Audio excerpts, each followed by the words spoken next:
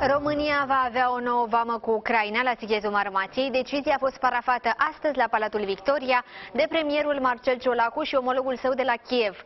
Punctul vamal ar trebui să ușureze în principal tranzitul de cereale din țara vecină. De altfel, în fața liderului ucrainean, Marcel Ciolacu a promis că se va dubla cantitatea de cereale care va trece pe la noi prin țară. România se va implica în continuare, la fel ca și până acum, în facilitarea exporturilor de cereale ucrainiene către piețele internaționale. Prin România sperăm să tranziteze peste 60% din volumul total al exporturilor de cereale din Ucraina. Am stabilit împreună o țintă ambițioasă, dublarea în perioada următoare a volumului tranzitului de cereale ucrainian prin România, de la 2 milioane de tone pe lună acum la 4 milioane de tone. Am făcut un schimb de note privind uh, uh, deschiderea unui nou punct de trecere a frontierei între Bila Țercva și Sighetul Marmații. Uh, va funcționa 24 uh, de ore pe zi pentru uh, transport marfă și pasageri. Vom simplifica controlul de frontieră în punctele de trecere a frontierii și unde este posibil va, vom avea un control comun pentru simplificarea a transportului, tranzitului de mărfuri.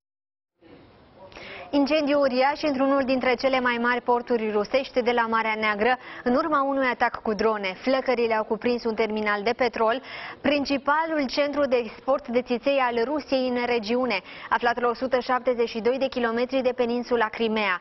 Potrivit presei ruse, focul s-a extins rapid pe o suprafață de 1300 de metri pătrați.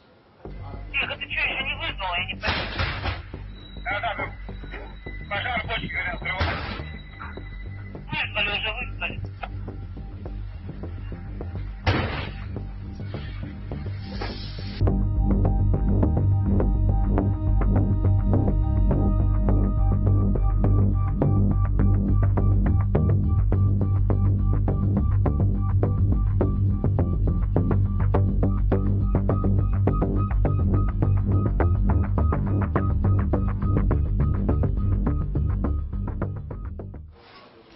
Despre tot ce se întâmplă în plan extern, dar și despre vizita liderului de la Kiev în țara noastră, discutăm acum cu domnul Cristian Diaconescu, fost ministru de externe al României. Bună ziua, vă mulțumesc foarte mult!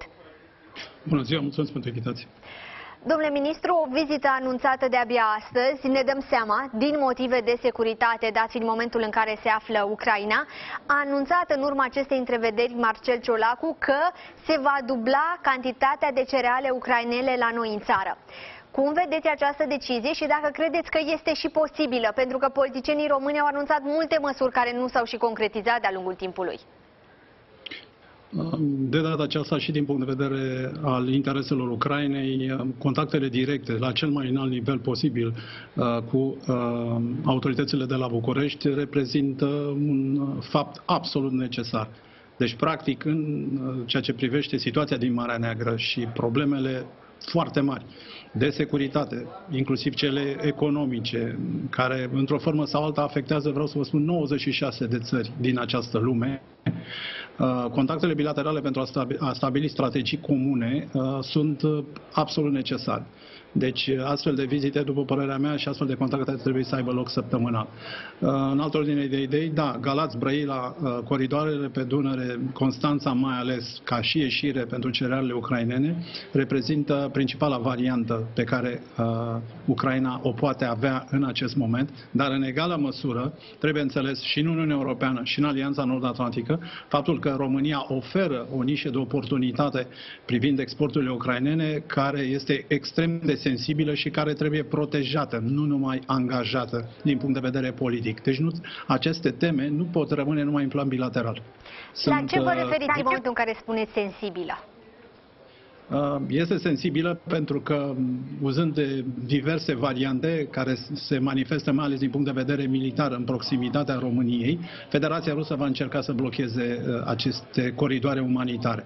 Ori, uh, din această perspectivă, nu cred că numai cele două țări, România și Ucraina, trebuie să-și asume responsabilitatea protejării acestor înțelegeri, ca ele să poată fi implementate.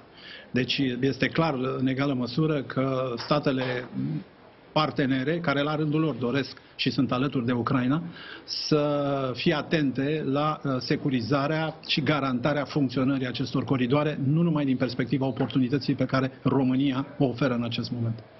Între timp, capitala Rusiei a fost vizată din nou de un atac cu drone. O explozie puternică s-a produs într-o clădire din cartierul de afaceri al Moscovei.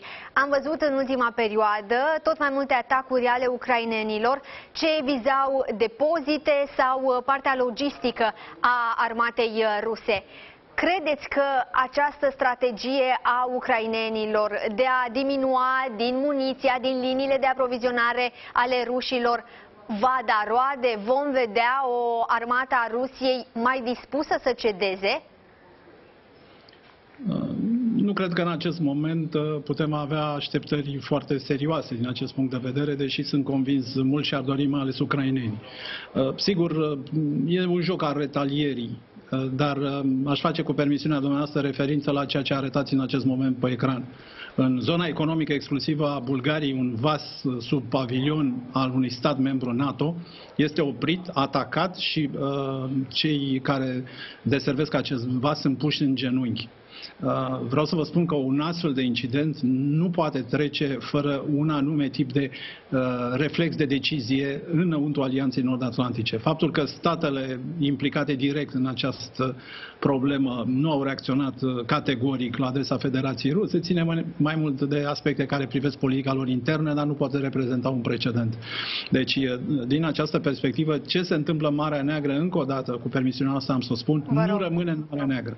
Și Trebuie ca acest aspect să fie foarte clar subliniat. Încă o dată, dacă se dorește ca Ucraina să continue exporturile de cereale spre uh, foarte multe colțuri ale lumii. Aș dori să discutăm și despre declarația pe care a făcut-o liderul bielorus. Alexandru Lukashenko a susținut că nu a știut că Vladimir Putin va invada Ucraina și, de asemenea, a mărturisit faptul că liderul de la Kremlin l-a rugat, citez, să-i apere spatele. De multe ori când sunt făcute astfel de declarații, ele au și un anumit scop în spate. Ce credeți că a vrut de fapt să transmită Alexander Lukashenko? Ce putem citi printre rânduri?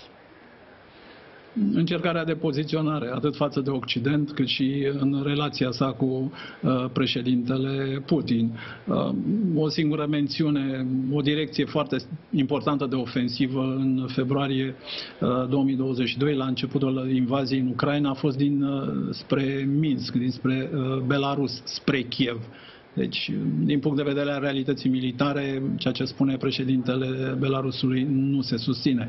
Uh, din punct de vedere al cooperării între cele două state, da, există un raport care nu neapărat ține de o prietenie apropiată, cât de un anume tip de sprijin reciproc, pentru că în egală măsură uh, nici uh, Lukashenko în Belarus, fără ajutorul Federației Ruse, probabil că nu ar rezista politic mai mult de 24 de ore opoziția acolo este una extrem de categorică, iar reprimarea uh, opozanților din Belarus a fost una brutală. Deci, din această perspectivă, e un fel de echiprocvo între cei doi, se sprijină reciproc pe un raport de cost-beneficii care, din punct de vedere strategic, evoluează de la o săptămână la alta. Vă mulțumesc foarte mult pentru toate aceste informații, domnule ministru Cristian Diaconescu.